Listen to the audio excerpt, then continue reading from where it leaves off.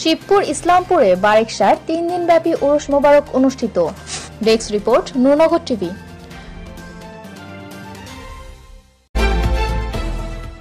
ব্রাহ্মণবাড়িয়ার নবীনগর উপজেলার শিবপুর ইউনিয়ন ইসলামপুর গ্রামের আধ্যাত্মিক সাধক ফকির আব্দুল বারেক শাহ চিস্তির দরবার শরীফ প্রাঙ্গণে গত চোদ্দ হতে ষোলো জানুয়ারি পর্যন্ত তিন দিন ব্যাপী ছিচল্লিশতম বার্ষিক উরুস মুবারকে দেশের বিভিন্ন প্রান্ত থেকে হাজার হাজার বারেকসার ভক্তবৃন্দের উপস্থিতিতে প্রাণবন্ত পরিবেশে শামা ও কাওয়ালি গান সারা রাত ব্যাপী অনুষ্ঠিত হয়েছে।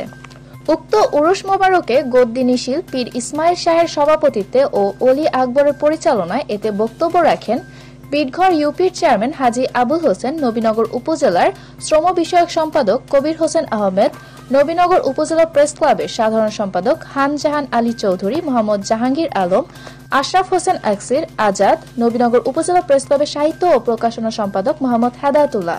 সাজু আক্তার প্রেমা, নুরনগর টিভি।